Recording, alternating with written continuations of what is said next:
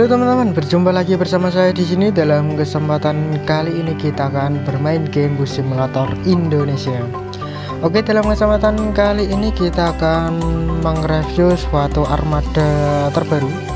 Ini adalah armada dari PO Almuna Trans dengan menggunakan bis double deckernya. Oke, uh, untuk kalian semua maaf kalau saya uh, untuk hari ini baru bisa upload sekarang karena tadi pagi sampai siang itu ada jadwal webinar ya. Jadi saya belum bisa untuk mengupload dan bisa menguploadnya pada kesempatan kali ini ya. Oke tapi tidak apa-apa kita langsung aja untuk ke gamenya ya. Oke ini untuk liverynya dari Mas LB Speed dan jangan lupa untuk di subscribe ya channelnya. Dan untuk modnya ini dari Mas Angga Soptro dan Pak Farid Madiawan untuk statusnya ini adalah sel ya. Dan bagi kalian yang berminat dengan modnya silahkan hubungi link yang ada di bawah ya. Oke sebelum melanjutkan videonya jangan lupa untuk like, comment, share, and subscribe. Dan jangan lupa untuk menyalakan lonceng notifikasinya agar tidak ketinggalan video terbaru dari saya. Oke langsung saja kita akan mengreview satu livery serta modnya ini ini kita menggunakan armada yang versi Mercy ya atau menggunakan sasis Mercedes-Benz 2542 dengan sasis trontonnya.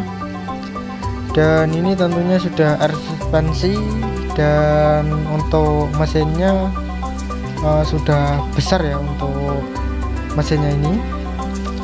Dan uh, langsung saja untuk kita review untuk penampakannya seperti ini ya untuk penampakan modnya seperti ini. Ini terlihat gede gelunding-gelunding ya. Apalagi terlihat untuk liverynya ini cocok sekali ya untuk modnya ini. Terlihat ini ada jembatan. Ini kayak jembatan Suramadu ya kalau nggak salah.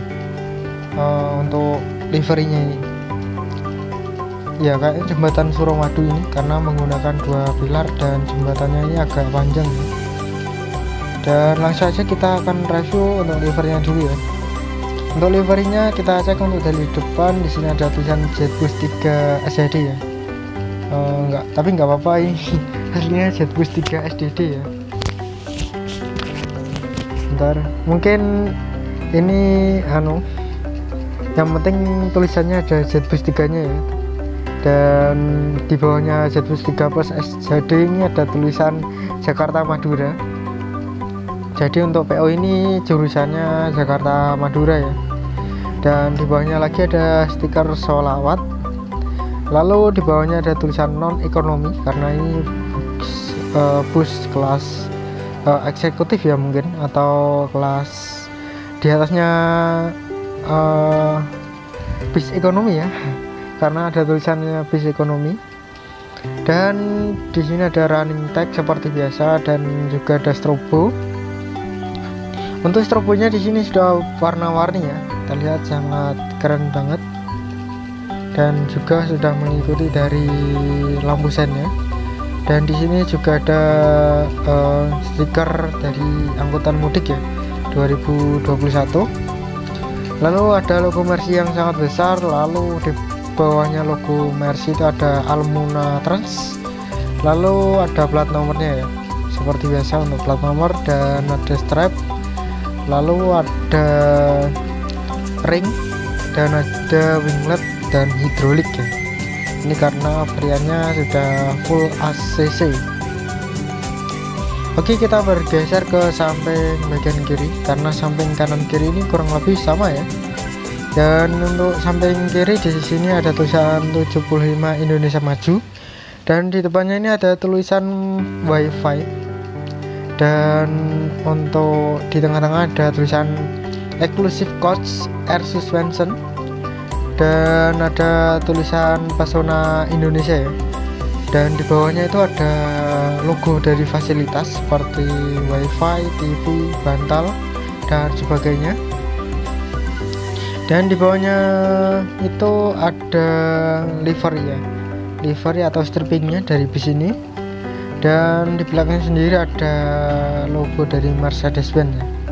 Tak lupa untuk yang di bagian deck bawah yang kuning ini ada tulisan PT nya ya. PT Almuna Indah Wisata. Walaupun ini PT nya wisata tapi ini untuk akap ya. Dan di belakangnya ini ada tulisan Jetbus 3 dan di bawahnya ada non ekonomi sama jurusannya ya di bawahnya itu. Dan ini yang bundar-bundar kalau nggak salah itu tulisan salawat ya atau apa. Yang tahu silahkan komen ya karena saya juga kurang paham untuk PO nya ini. Karena belum pernah lihat untuk PO nya ini saya. Dan ada tulisan Almuna Trans dan ada liverynya ini jembatan Suramadu ya. Karena trayeknya ini melewati jembatan Suramadu ya karena di Pulau Madura. Oke untuk interiornya seperti ini ya. Di sini untuk TV kecilnya ada menyetel lagu di YouTube ya mungkin. Dan untuk pandangannya ini enak dan untuk aksesorisnya ini sangat detail sekali ya. Tapi untuk di sini tidak ada aksesoris bergerak ya di sini. Mungkin karena semakin banyak aksesoris yang bisa bergerak itu semakin ngelag ya biasanya. Oke bagi kalian yang baru minat dengan modnya silahkan cek link yang ada di bawah ya. Untuk modnya ini harganya kalau nggak salah 50.000 ya untuk dua sasis yakni Mercy dan Scania Scania K410 ya karena menggunakan double decker. Dan untuk variannya itu ada yang uh, Dove standar Alcoa sama ada varian Tameng Sumateraan ya. Oke mungkin cukup sekian video yang dapat saya sampaikan dalam kesempatan kali ini. Bila ada kekurangan atau salah kata saya mohon maaf. Saya Fabri Septian Channel Salam Busit Mania